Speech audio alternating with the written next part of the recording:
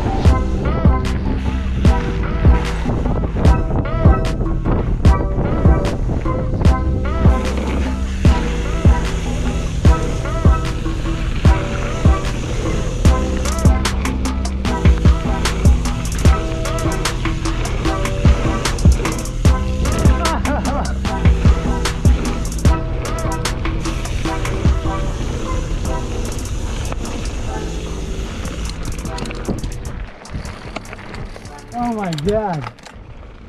After riding Return of Brian's trail a couple times, we headed over to the Broken Arrow Trail, which is currently the only Black Diamond raid trail in the preserve. It's a mile long and you get about 350 feet of descending in. It is also the only trail that has long, fast straights with some decent exposure. It was a blast to send the little jumps as far and fast as I dared. This has some things.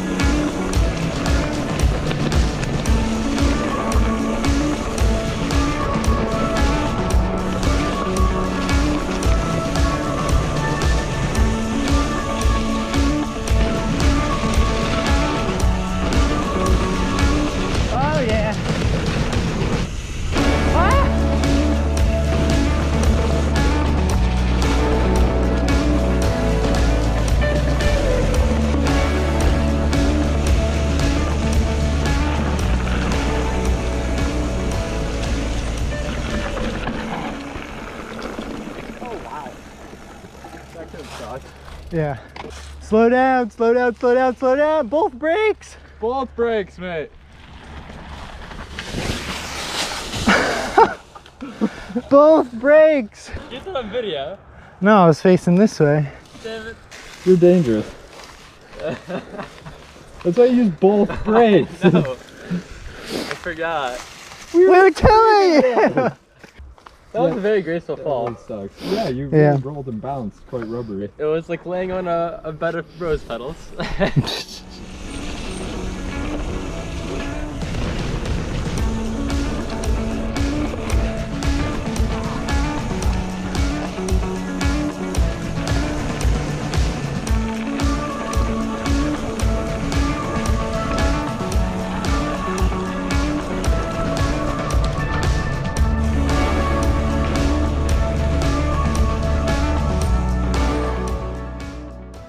Alright, so that's about it for this video. Thank you so much for watching. Really enjoyed this ride and making this video. I spent a bit of extra time on it, so hopefully it paid off. And if you could mutilate that like button, I would really appreciate it. And remember, stay adventure, my friends. if you don't eat your meat, you can't have any pudding. How can you have your pudding if you don't eat your meat?